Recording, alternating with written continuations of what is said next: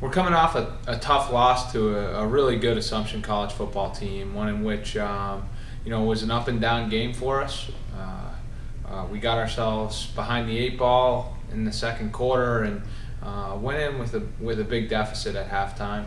Uh, our, our players, as is expected of them, as they have done, whether it be in the weight room in the summer or on the practice field, our kids went out uh, and really made it a football game in a time where people tell me um, some teams would have packed it in.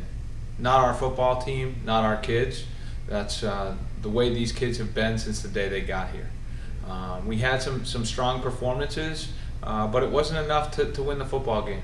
I'll tell you that these kids didn't come to Bentley for moral victories. They came here for the great opportunity that our school and this, this football program provides. We're going out this week against Southern Connecticut uh, to go earn a victory. We know, um, you know, we've been able to learn from some some things that have happened over the first four games of the season, uh, and, and some experiences throughout the summer, spring, and into last winter.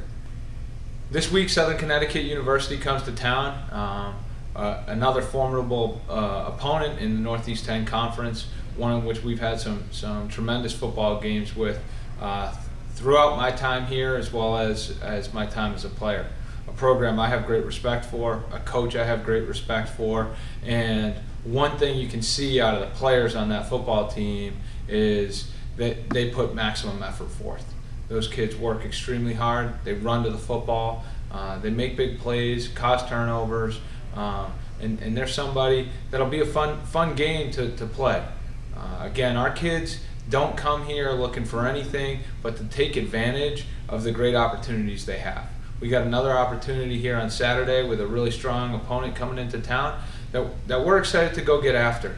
Our kids have been practicing all week, as we'll continue. Um, throughout this week, we're looking to go get ourselves a victory.